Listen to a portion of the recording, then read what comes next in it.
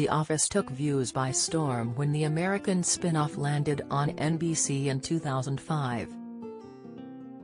The hilarious mockumentary followed the everyday lives of the employees at the Scranton branch of Dunder Mifflin Paper Company. Following its finale, The Office US has been regarded as one of the best sitcoms on screens with its official YouTube channel accumulating more than 2.5 billion views. Despite the memorable one-liners and chaotic scenes, fans were forced to say an emotional goodbye to the show in 2013. However, The Office celebrated a major milestone as this week marked 10 years since the finale. As a result, Angela Kinsey took to social media to pay special homage. Fans will remember Angela Martin, played by Angela Kinsey, as the stern head of accounting, who was passionate about her former role as the head party planning committee. Although Angela's soft side was only displayed through her love of cats, viewers eventually saw a new side to her during her controversial romance with co-worker Dwight Schrute, Rainn Wilson. To celebrate 10 years since the finale, the actress posted a series of behind-the-scenes photos on Instagram. In the caption, Martin wrote, 10 years ago today Phyllis carried Angela down the aisle to marry her love, Dwight.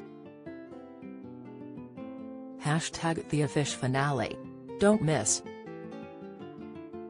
Murder solved after three decades by evidence from killer's grave, latest, Emmerdale couple torn apart as unlikely villagers embark on affair, watch, repair shop expert bids farewell to co-star in emotional tribute, Insight. The heart-wrenching finale saw Angela and Dwight finally make it down the aisle with a special appearance from their former boss Michael Scott, Steve Carell, who left during season 7.